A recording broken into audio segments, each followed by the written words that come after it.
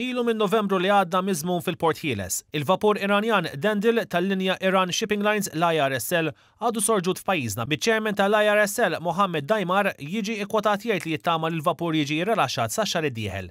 Id-Dandil inżamm kważi xahrejn ilu fl-istess żmien li vapur ieħor tal-IRSL, il-Decorative, li jtajjar bandiera Maltija, inżamm f'Hong Kong. Rapporti jgħidu li ż-żewġ vapuri nżammu taħt sekwestru fl-erbatax ta' Novembru li għadda.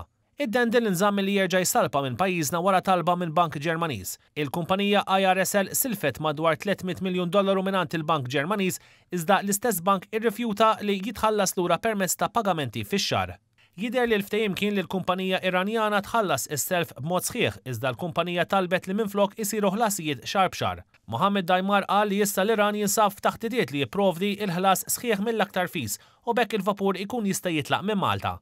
Huwa sostna li kuntrarjament għal rapporti qed joħorġu li l-vapur jista' jinbiegħ b'irkant jekk jibqa' taħt sekwestru, l-Iran ma jippermettix bejgħ ta' vapuri bl-irkant.